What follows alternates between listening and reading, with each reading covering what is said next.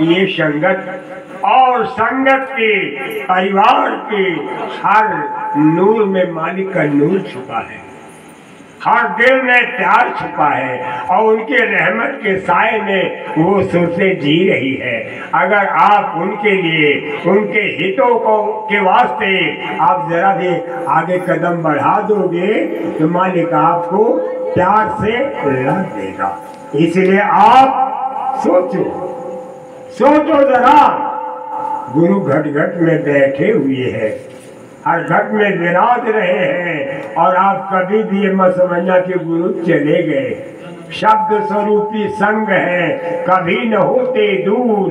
धीरे रखिए चित्त में दिखेगा सतत नूर। वो दिखाई देगा। कैसे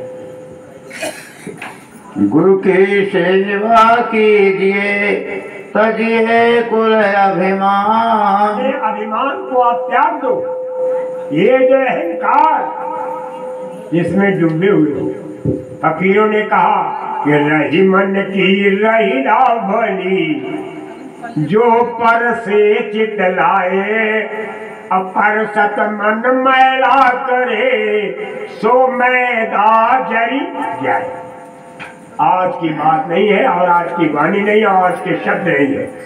उस समय दाल बहुत होता था। दाल का किनका, मटर का किनका और चना का किनका जो बच जाता था तो उस समय रोटियाँ बनती थी। जो बुज़ुर्ग आज हो चले हैं, उनसे आप पूछोगे तो अपने बचपन में वो ऐसी रोटी खा चुके हैं। खाने में तकलीफ़ होती है, उसी को कहते हैं रहीला। रहीला की रोटी। महापुरुष कहते हैं, रहीमन, रहीला की बनी जो पर से चितलाए। चित खुशी है कि आज हमारे दरवाजे पर कोई मेहमान आया हुआ है। न जाने न जाने कौन से गुण पर दया निधि रीढ़ जाते हैं। कौन से गुण पर प्रसन्न हो जाते हैं? जरा ये सोचना चाहिए। और न जाने किस देश में वो खुद आए हुए हैं। जरा सोच लीजिए। कभी भूखे को रोटी खिलाया नहीं। कभी भूखे को रोटी खिलाया नहीं। बादयम पिलाने से क्या फ़ायदा? कभी प्यासे को पानी पिलाया नहीं। बादयम पिलाने से क्या फ़ायदा? जरा दूर तक समझिए। मेरी प्रार्थना है। कि हमारी जो खानदानियत है, हमारी जो खानदानी जज्बात है, हमारे जो जातीय संस्कार हैं, उनको आप तहस नहस मत करो। अपने दिल में दया का भाव रखो। आज मुझे बेहद कष्ट हुआ कि कुछ बच्चे मेरे सामने बात कर रहे थे कि इंटरनेट पर भी जुआ चलता है। अरे हमने कहा, ये क्या? भारत सरकार को भी इन विषयों पर विचार करना चाहिए। ये क्या है? ये क्या है जरा सोचने की बात है फिर से पड़ी हुई।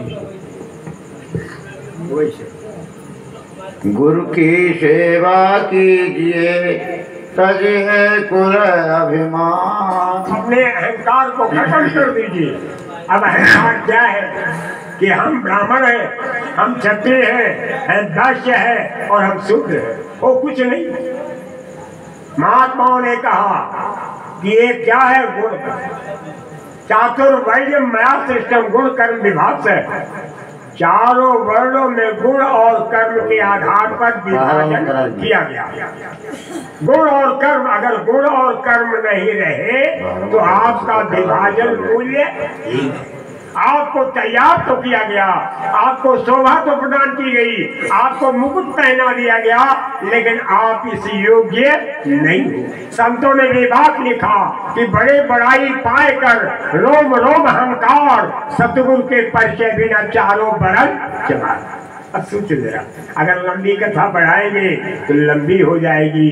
लेकिन बगैर गुरु के, इस ज्ञान के पथ पर आप आगे बढ़ने के योग्य नहीं हो। जो क्योंकि आप शुद्ध साफ़ त्याग की गरिमा से परिपूर्ण नहीं हो। आपका मन रूठा हुआ है। आँख से चिनगारी निकल रही है। ऐसा खिलाना मोलहीन है। सो मैदा जल जाए। वो मैदा उसके अंदर गया, वहाँ भी जल गया। आपने खिलाने की का पुण्य चाहा, वो भी जल गया। और यहाँ महापुरुष कहते हैं कि पाप पुण्य दूनों जब नासे, तपावे ममपुर में बासे। पाप और पुण्य का जखीरा आपने तैयार कर लिया। इतना बड़ा अंबार लगा लिया और इतनी बड़ी भीड़ लगा ली। अब इससे बच के जाओगे कैसे? जरा दूर तक सोचो आप। दीपक ले गुरु ज्ञान को जगत अधेरे माँ।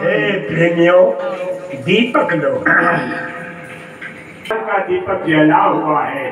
तो उसकी रोशनी में आगे बढ़ो आपको दिशा मिलती रहेगी। मार्गदर्शन मिलता रहेगा प्यास से मिलता रहेगा। आप जाने किन किन नायाब दौलतों से माला माल हो जाओगे। बोलिए। काम क्रोध मद मोह में सहजोर से नाय महात्मा कहते हैं। कि काम क्रोध, मद, लोभ, मोह, अहंकार, ईर्ष्या देश मद, मत्सर। इतने रोग गाए गए हैं कि मानस रोग की अगर व्याख्या मानस के मुताबिक की जाए। तो इन रोगों से पहली बात तो ये कि कायनात का कोई जीव सुरक्षित नहीं। ये तो मानस रोग है, मन के रोग है, और आत्मा के रोगों का ज्ञान ही नहीं है, और शरीर के रोगों की कोई सीमा ही नहीं। अब बताओ कैसे आप ज्ञान प्राप्त करोगे? आप इन्हीं क्रीड़ाओं में, इन्हीं शोक समुद्र के सागर में आपका पूरा जीवन बीत जाएगा।